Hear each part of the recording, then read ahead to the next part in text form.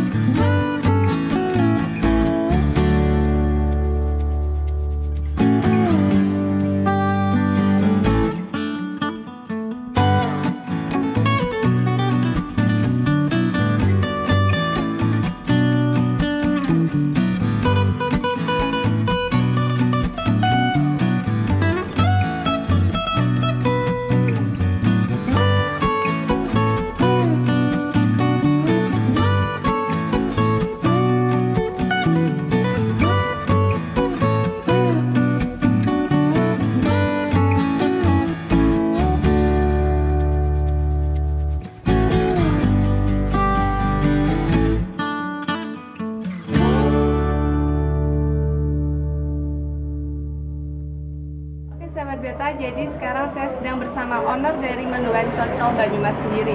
Nah, jadi saya akan sedikit bertanya seputar Mendoan Cocol Banyumas. Oh, mau tanya dong Mbak, kenapa sih Mbak Alia memilih buka outlet di Kudus? Soalnya ini kan Mendoan Purwokerto gitu loh. Iya. Kalau mem- kenapa memilih di Kudus? Kebetulan saya asli Purwokerto sendiri, jadi ingin menghadirkan kuliner dari daerah asal saya di Kudus. Ingin memperkenalkan kepada masyarakat. Eh, sejak kapan Mbak Mendoan Cocol ini berdiri? Eh, sekitar November 2019, baru kurang lebih satu tahun. Eh, untuk konsep idenya memberikan isian itu gimana? Inspirasinya? Kalau inspirasi sebenarnya kita sendiri aja ya, jadi emang belum ada yang menduan versi seperti ini gitu. Jadi kita ingin memberikan sensasi yang berbeda melalui olahan tempe, yaitu mendoan sendiri. Ya seperti yang kita tahu sekarang ini mendoan isi.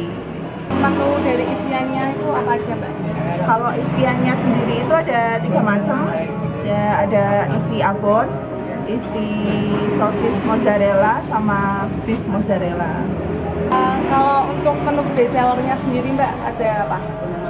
Yang paling best seller? Kalau best seller sih yang original juga best seller ya. Jadi original pakai sambal cocol kecap gitu. Tapi kalau untuk yang isian sendiri itu biasanya yang isi abon juga best seller gitu. Yang kedua biasanya beef, beef mozzarella. Oke Mbak, kalau setahu saya tuh kan tempe dari Banyumas itu kan berbeda ya. Dan Iya. kalau Mbaknya itu ngambilnya dari mana? Kalau untuk bahan dasar yang tempe sendiri itu saya custom dari produksinya langsung dari pabrik di Kudus.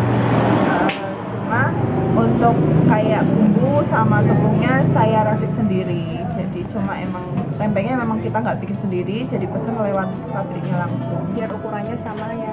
Iya, eh, tapi kita memang pesen khusus gitu. Untuk bukanya sendiri itu mulai jam berapa sampai jam berapa? Kalau jam bukanya yang di depan Indomaret Sakti ini sendiri itu dari jam 2 siang sampai jam setengah 9 malam. Tapi untuk yang di Indomaret Sunan Kudus itu buka dari jam setengah satu sampai jam setengah 8 malam.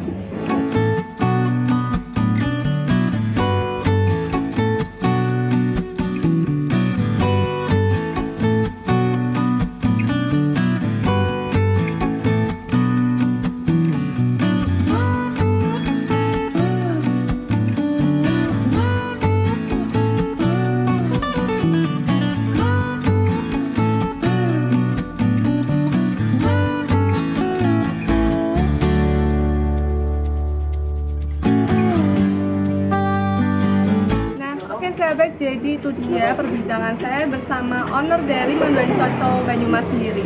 Jadi Menduan Cocol ini sudah buka dari bulan November 2019 yang sudah berjalan hampir satu tahun. Nah, yang membuat mendoan ini semakin maju dan berkembang karena adanya varian isi yang berbeda, yaitu mendoan yang diisi dengan sosis, terus keju mozzarella, beef, dan lain sebagainya. Jadi untuk itu, terus ikutin kami dengan cara like, komen, dan subscribe karena kami akan selalu memberikan informasi-informasi terkini serta inspiratif. Sampai jumpa.